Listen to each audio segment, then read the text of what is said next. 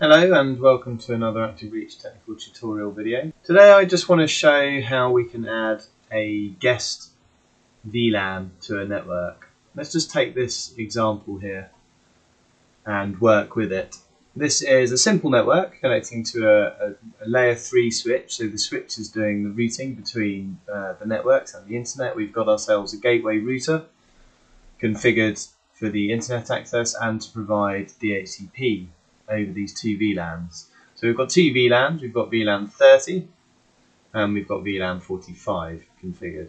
And this works all quite happily. We've got um, a device here which you can see is on VLAN 45 and we've got another device here which is on VLAN 30 and we can communicate across um, the two VLANs quite happily. Each device can talk to each other. So the other one was 104506 and we can reach that and from the other device we can reach 1030 uh, what was it again 011 like so if you're using a Windows machine for something like this, just bear in mind that the Windows firewall might block um, the ping response, um, so that has to be allowed through, which is what I've done on these devices, just to make sure that they both respond to ping. And you can see as well they access the internet quite happily, their gateway being the switch. And I'll just show you the switch config. So here's the switch, and you can see The switch has VLAN 30 configured on it, and it has VLAN 45 configured on it. And we've got a helper address on each VLAN, which is our router, and the IP route points to that router as well. The default route points to that router as well. Uh, so let's have a quick look at the router.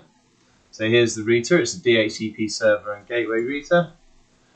And in there we have a LAN pool for the 45 network, VLAN 45, and we have a LAN pool for the VoIP pool. We don't need to configure the VLANs on here, we only need the VLAN um, 50, which is the um, address that needs to talk to the switch, and we have a, an IP route back to those networks to the switch's IP address here, IP route to there. And of course, this is also a NAT device, so we have to make sure that we are allowing NAT for those networks and that goes out through our fast Ethernet 4 IP address here. Okay, so that's how this basic network here is established. And now what we want to do is we want to add another network. So say you want to put a guest Wi-Fi in or you want to allow other guests to connect to the same switch, but you don't want them to be able to access your VLANs. And in fact, you want them to be kept as separate as possible. We don't even want DHCP coming from the same DHCP address. We just want to complete, completely separate this VLAN. So the way we're going to do this is we are going to introduce another firewall onto our network. We're going to deploy a Meraki firewall and we're going to put it on a new VLAN. So how are we going to do this and make sure that these are completely separate when they're connecting into the same switch? Okay, so the first thing we want to do is deploy our Meraki firewall but get it connected to the internet. And in true Blue Peters fashion, here's one I made earlier.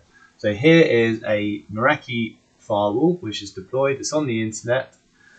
Um, as you can see, connected, and it's just got the basic connectivity in on on the internet over my normal LAN. And what I'm going to do is I'm going to go into the VLAN area and I'm just going to do add VLAN. I'm just going to call this guests and I'm going to give it VLAN 66 and I'm going to give it an address as I showed on here. We are going to be deploying it with 66 1066.6 okay MX will be 1066.6.254 and the subnet is going to be 1066.6.0 slash 24. Okay, we're going to create that VLAN. And we're going we, we're connecting this from port 1 on the firewall to switch port 24. Okay, so let's make sure we configure that correctly. And there, I'm just clicking on port 1 and I'm changing it to an access port on VLAN 66. Okay, like so. And I'm clicking save. And what I'm also going to do, I'm, I'm going to I'm going to use the other features on this firewall to restrict my guests. Yeah, I don't want them to to have full access to the internet and other things. It's going to be a guest network, so we, we're going to take advantage of some content filtering as well. So let's go in here and let's block some stuff. Let's block a few categories and make sure that there's a few things that they can't do on the internet just to keep them a, bit restricted. And we'll test that as well when we do it. Okay, that'll do. This is using the content filtering feature on Meraki firewall. This is the Meraki MX64. Okay, and we also want this to be the DHCP server for our VLAN 66 users. So go into here.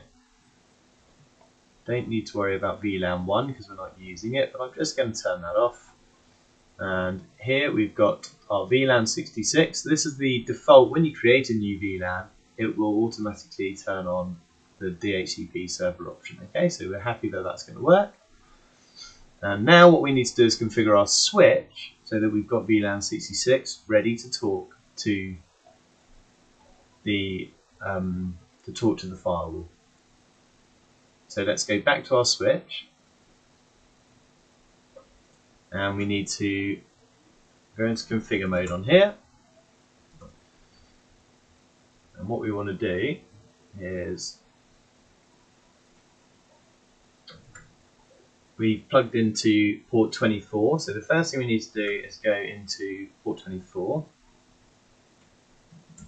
And we need to set this to switch port mode access.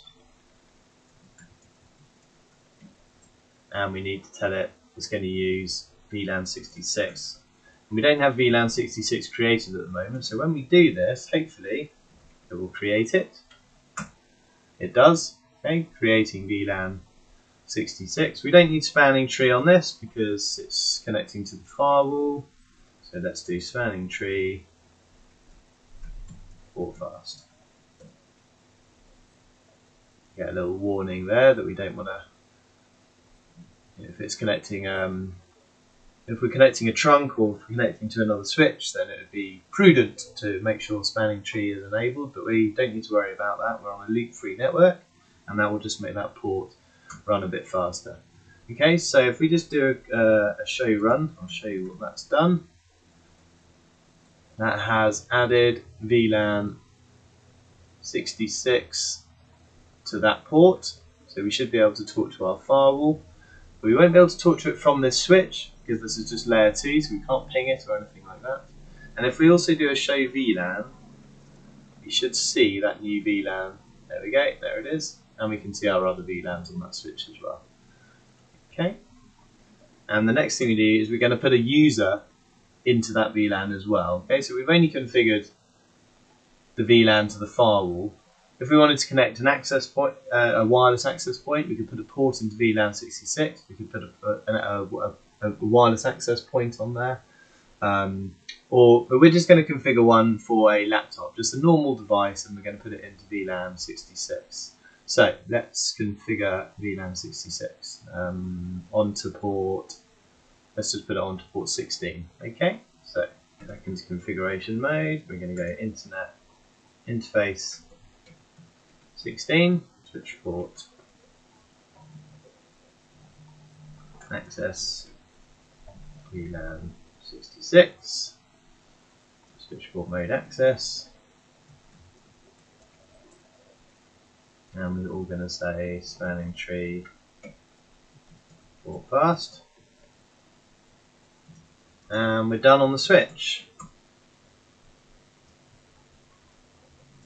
and we don't need to do anything on the router because the router is not relevant to this there should be no need to involve the router this is just those ports on the switch. Traffic's going to come in from this device.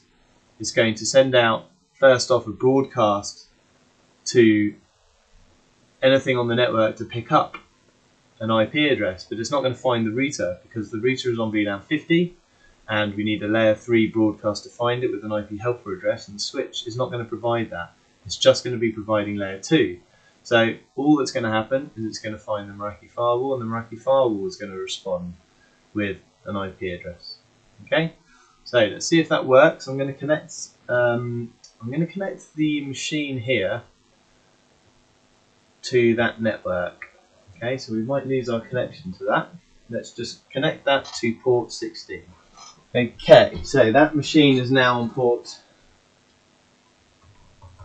16 and you can see straight away it's already picked up a new IP address. It's picked up 1066.6.1 and its gateway is now 1066.6254 and we should be able to ping the gateway which will be the Meraki and we should be able to get out on the internet. In fact, we must be able to get out on the internet connecting to this machine over the internet and we can see that that works, okay?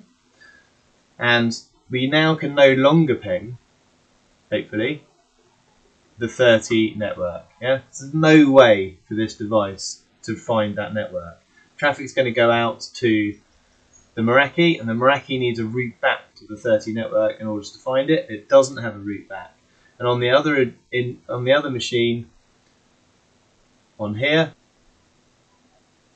this one here, if we tried to ping 1066.6.1, it wouldn't be able to respond because there's no route to that machine. Okay. I mean, you could, you might think maybe it'd be a good idea to add a VLAN interface to the switch to do this, to achieve this. But you don't really want to do that because if you had, if you added the VLAN 66 onto here, you're inviting this switch to then route between those VLANs. Yeah. so if you and you know maybe you did want to do that because maybe you want to use the same DHCP server, and in order to use the same DHCP server to have a DHCP helper, you need a layer three switch you need a layer 3 interface on this switch for that VLAN. So you could go into here, you could create VLAN 66, um, and you could give it an IP address. So let's give it uh, 1066.6.253. Uh, but what you're now doing is you're allowing routing between these interfaces, and you might not realize that that's what you've done. Okay, so you've now got a layer 3 interface on this switch. And now, if you go back to your 66 machine, which is this one here, switch we added, which is 253, and you can now, uh, you won't be able to reach the Meraki because the Meraki doesn't have a, a route back. But what's the danger in this? Why is this dangerous? Well, on this machine, what you could actually do, if it was an attacker, you could now run, say, a scan on the broadcast address, which is two, uh, sorry, on the entire range, let's say, which is going to be slash 24. Let's just do that. So this is now going to scan across the entire range, yeah, on the network we're on, and just make a little discovery about what's going on with it. And what this scan will tell us is that there is a device on 1066.6.253 and it tells us it's actually a Cisco device. So this machine could now change its gateway to 1066.6.253 and it could potentially then access other things on the network, which I will just quickly demonstrate, okay? So I'm going to go in here, build another network so that I can still reach this machine because I'll lose internet access over this network over the Ethernet network because the gateway won't provide um, internet access. I don't care about that because I don't need internet access. I'm just trying to attack the local network. Okay. But if I go into the local network and say change me to 1066.6.1, same address that I've been given by the DHCP server, but I change my gateway to the address I've discovered on my port scan. Don't need DNS. Okay, so now if we have a look at the config, ignore this one, that's just so I can make a connection to it. You can see now I've changed to a manual connection of 66.6.1 and a gateway of 253, which is not the gateway the DHCP would have provided me on this. You see now I should be able to reach the devices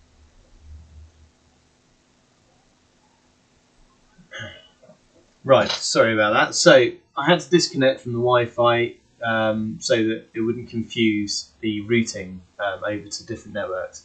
But you can see here, I can now reach the 30 network on when I'm connected onto um, using that switch as a layer 3 device. And that was not what we wanted to do. So simply by introducing a layer 3 interface onto the switch, we're actually allowing routing to this new network. So it's quite easy to introduce a private network if you just make sure you're doing it at layer 2 because by default that switch won't route from a layer 2 network to a layer 3 network or from a layer 3 network to a layer 2 network. That's not how it works. Yeah? That will only work if we have a layer 3 device which can VLAN, do the VLAN routing between those VLANs. And the minute you create a, um, an IP address with a layer 3 address onto a VLAN of the switch that's doing layer 3 routing, it will allow VLAN routing. So to avoid that, we simply just don't do it.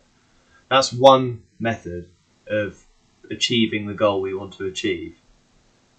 We could, of course, add access lists to this device so that it's got security between the VLANs, but maybe that's not the best option. Also, on this um, device, we, we, we wanted to add additional security and the Meraki gives us the filtering that we've set up, the content filtering for this device. Um, whereas if we allow layer 3 routing through the switch and then through the router, we, we haven't got that option available to us. You know, other changes we make on the firewall or on our other devices might uh, affect the users on our networks that work. Maybe we don't want to do that. We don't want to impact our current network. We don't want to impact our current users. We're just trying to create a new network for guests, and sometimes it's better to have a whole new network to create a new network where there's no uh, routing and interoperability between the two networks, or three networks, or four networks, or however many. So that's what we've done. I just want to just demonstrate the um, uh, the internet access through that network so I'm just going to go back onto that device um, and configure it so that DHCP is picking up the, the IP address properly. And let's just go just go back to our switch and just delete that interface because we don't need that. Okay, so here's our device. I'm just going to fire up a browser and make sure that the Meraki's filtering is working. So you can see now we've got um, the details correctly on our guest network. And we filtered uh, gambling, so we shouldn't be able to get to a Okay, nothing. But we can access the BBC. Okay, so the internet works, but we've restricted the internet access, and that seems to be working. So we've got a safe guest on the network, and it's, um, it's safe according to our design. Okay.